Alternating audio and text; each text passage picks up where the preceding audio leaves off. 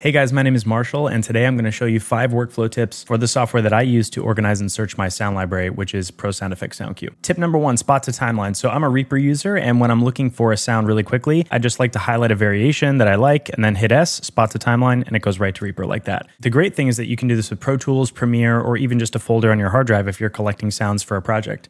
Tip number two, you'll also see drag and drop in this window. And when you're not working in a DAW, drag and drop is an awesome way to bring specific parts of sounds over to other software. Like here, I may want to drag this specific part of a loop over to sound particles. Drag and drop makes that super fast. Tip number three, metadata. I can be just as lazy as the rest of us when it comes to metadata, but at the very least, I try to date whatever sounds I just designed for my library. So I'll quickly highlight, come over here in SoundQ, and then put today's date. Then once the date is added, I just click and highlight all the sounds that I changed the metadata for and embed metadata for selected.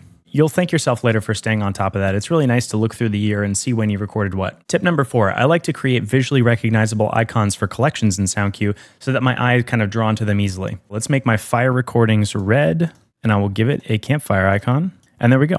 You could go even more minimal. I like to, for example, make the top level folders of my original sounds green and then my purchase libraries blue, just so I kind of know what I'm working from. And tip number five, I like to keep a collection called ear candy for when I hear a sound that I like but doesn't fit with the design I'm currently doing. So I'll target the ear candy collection by clicking this. And then anytime I hear something cool, all I've got to do is hit T and it's added to the collection. Within my ear candy collection, I like to color code things with tags. At a glance, I want to be able to tell what's what. So I use, for example, yellow for ambiances and then red for more explosiony type gunshot sounds, but you do whatever you want. That was five of my favorite workflow tips for SoundQ. Go check it out.